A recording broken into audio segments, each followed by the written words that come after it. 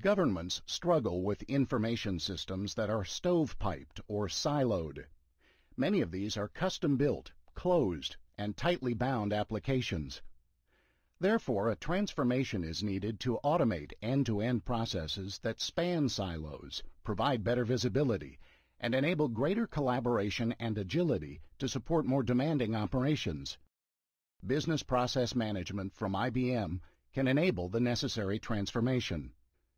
As the administrator in charge of our governmental response to emergencies and disasters, I know that our departmental and agency IT systems are all functioning efficiently and effectively.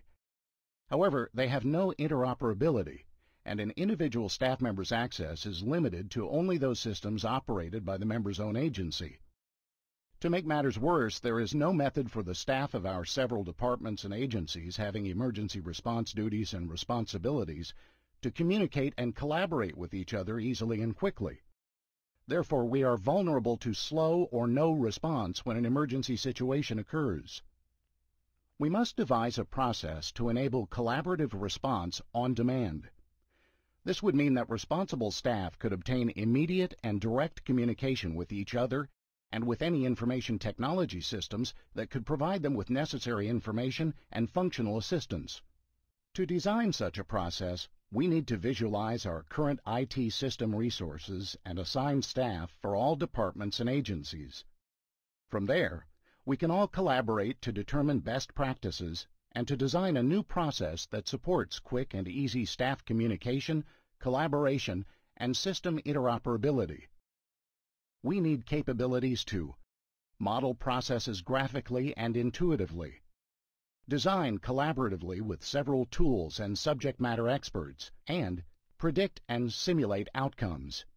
Business Process Management from IBM provides these key capabilities.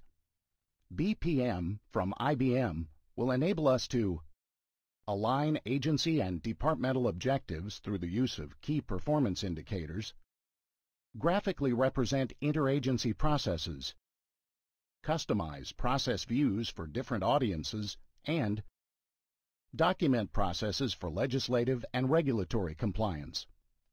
Due to the interagency nature of these processes, it is important to design them collaboratively by involving multiple experts using common design tools. BPM from IBM enables us to share process models, forms, KPIs, and metrics with stakeholders. Import models from ARIS, Microsoft PowerPoint, and Excel, and other tools as needed. Comment and review using an easy-to-use web-based interface, and leverage pre-built agency process templates as needed. In order to predict and optimize process outcomes, BPM from IBM enables us to run what-if simulations to predict results before developing a process, simulate running processes using actual real-time data to optimize them further, identify and resolve bottlenecks, and estimate cost savings before deploying. Once the process model is completed, it must be deployed and executed.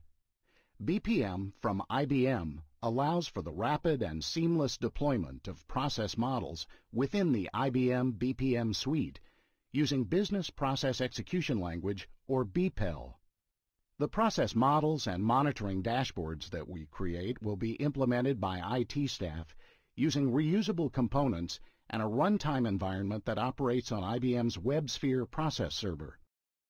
Process Server provides the scalability and reliability that we need for this mission-critical application. Once that is accomplished, our program and service staff members can take charge of the operation. In order to achieve the agility needed for these interagency processes, we must define staff roles that are authorized and empowered to make frequent and rapid changes to the process. Specifically, we must ensure that Administrators are empowered to effect process changes. IT is able to appropriately govern and control process changes. And process changes can be directly deployed from the model very rapidly. IBM's BPM suite enables administrative and program staff to modify processes with non-technical, user-friendly interfaces and information presented in a business context that non-technical staff can understand. This includes capabilities for role-based collaboration concerning process objectives, performance, metrics, and modifications. BPM from IBM enables administrators to better collaborate and align with IT staff, resulting in faster response and better control, process rule and policy consolidation in one place for better management, and significant reductions in end-to-end -end execution time and infrastructure requirements.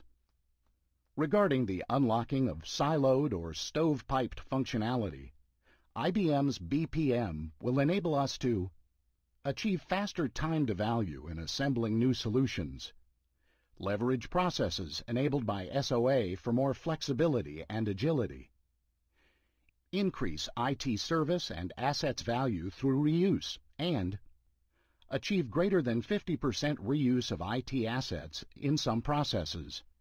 By using BPM from IBM, government will be able to realize greatly improved processes that leverage real-time system interoperability and staff collaboration, particularly through reuse of legacy systems or components in newly composed processes, and resultant reduced system inventory and staffing levels. With the IBM BPM suite tools and methods in place, we will be able to automate processes end-to-end, transform insights into action, and adapt and respond dynamically. In particular, BPM enables real-time visibility for smarter decisions and actions. We will be able to monitor key business objectives, anticipate operational risks, and respond with decisive action by modifying the process design accordingly and immediately.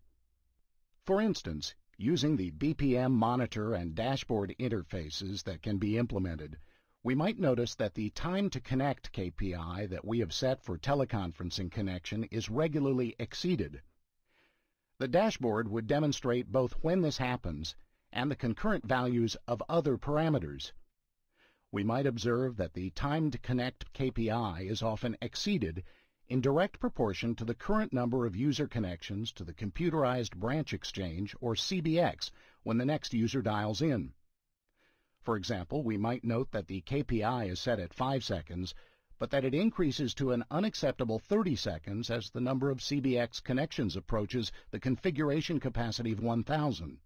With this observation in mind, we will be able to use the BPM modeler to depict alternative configurations of or additions to the CBX in order to maintain an acceptable KPI as the number of connections approaches the maximum.